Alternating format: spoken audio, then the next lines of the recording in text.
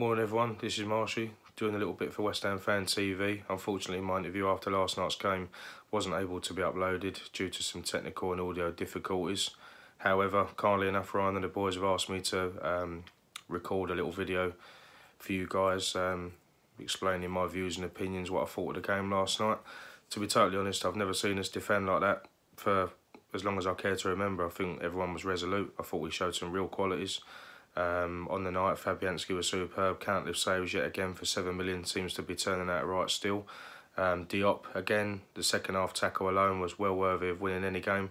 Um, doesn't matter what you say, to be honest. I think Zabaleta was superb. And as for Declan Rice, you know, I think that's why we need to understandably tie the kid down to a long-term deal because he's obviously West Ham through and through, as we all are. And uh, he's shown that quality in his performance again last night.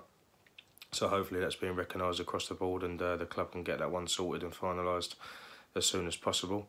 Um, I think we seem to. I think we dealt with the with the Leicester threats really well. I mean, when Vardy come on at half time, and I think when Demarai Gray um, was substituted on as well. I think obviously we know their attacking prowess. We know what they're um, well capable of doing, and we seem to defend them really well. I think it was just unfortunate at the end the way that the you know deflected goal come about.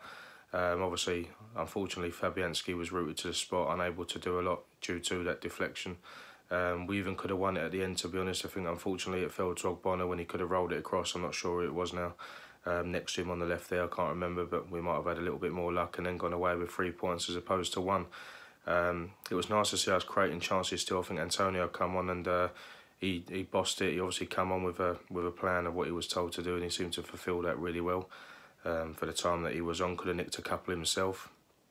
Um, was less greedy at times as well. Um, so that was a positive to see. I think we just need to take as many positives out of this one as we can. You know, we know what Leicester are capable of. Um, they've won the league. You know, you don't do that without showing you know resilience and uh, playing as a unit. So it's a it's a difficult place to go. I think we knew that um, in previous years. You know, obviously last season, last game of last season, um, we won two 0 We got a draw as well. Um, with the year that Leicester won the league. Um, so it's not been a, a, bad ground to go to, but it's also not been easy. Although no games are easy in this league. So I think we've got to take away the point. I think we've got to take away the positives.